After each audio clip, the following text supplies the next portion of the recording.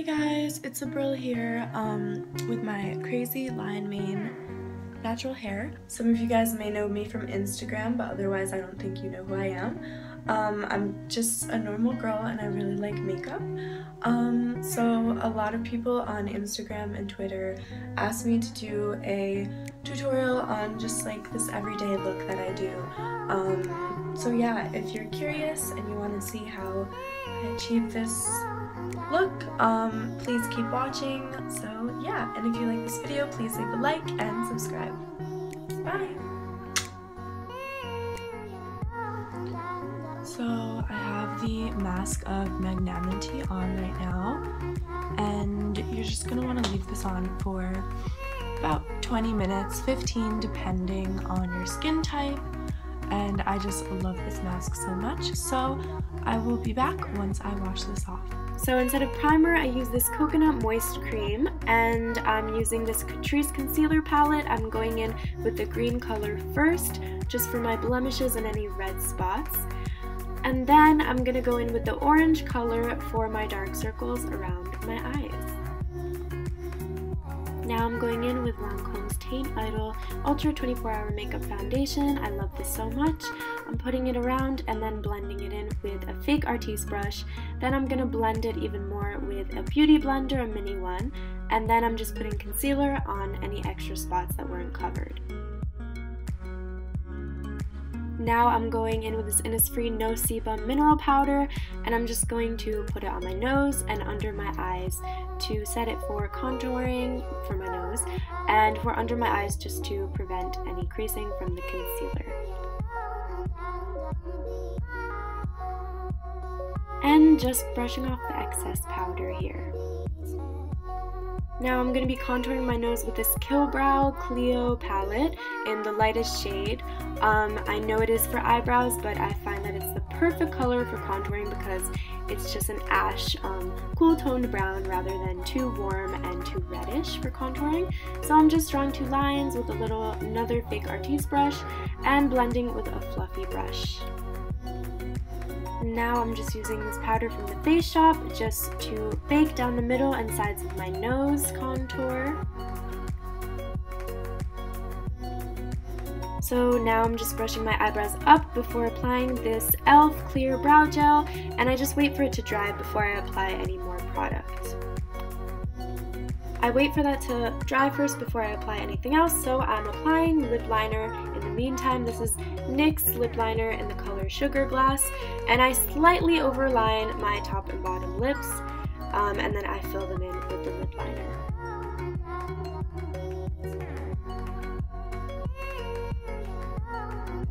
Now going in with Anastasia Beverly Hills Dip Brow and Ash Brown, I'm filling in my brows and I know it's going to be hard to see because of the lighting, I'm so sorry about that, but I fill in the bottom line first and then the top and I make sure the front is kind of faded. Then I'm going in with that same Catrice concealer palette using a color close to my skin tone and I'm just cleaning up the edges with concealer and blending it out.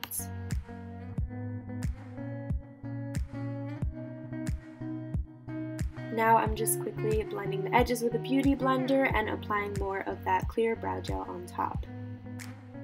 So here I'm using that same Clio palette um, as eyeshadow. I'm using the same color I used to contour my nose with a fluffy brush and then on the bottom of my eyes as well. Now I'm going to use the Sleek Solstice Highlighting Palette. I'm using the yellowy goldish color in the inner third corner of my eye. For eyeliner, I'm using a Skin Food Brown pen um, eyeliner. I did it off camera, but basically I just put it in the outer um, corners of my eye only. And now I'm curling my eyelashes before I go on to mascara, and I'm using the Maybelline Great Lash, the Legendary Mascara.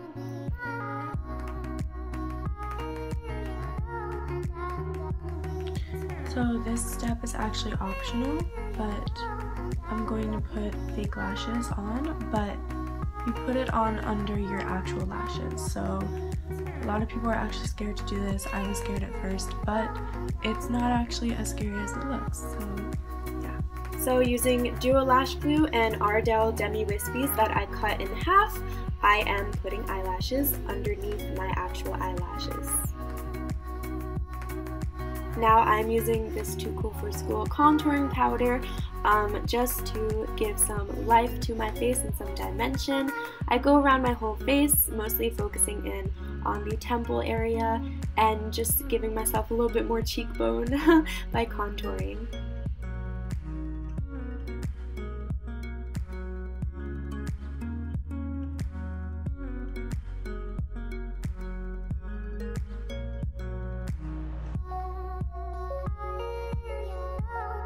For blush, I'm using NARS's Orgasm Blush and just put it on the apples of your cheeks very naturally. Once again, going in with that Sleek Makeup kit, and I'm going in with that um, yellowy color and also the bronzy color. I put down the bronze first with this little fan brush, and then I usually put the lighter yellow over it to make a more blinding effect. I put it over my brows and on my cupid's bow as well. And then I'm just brushing off the bake, and I'm going to put highlighter on my nose as well.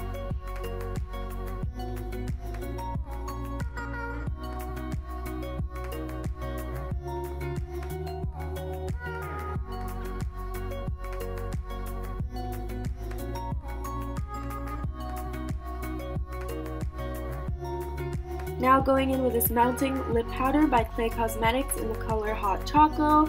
I'm applying that all over my lips, um, just on top of that lip liner that I already put down.